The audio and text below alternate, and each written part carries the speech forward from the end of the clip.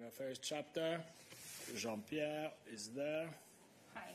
What I can say at this stage is that we understand that there was a recent change uh, in the way uh, the diplomatic precedence list is implemented by uh, the United States Protocol, and that uh, we are currently discussing with uh, relevant services in the administration possible implica implications uh, for the EU delegation in Washington.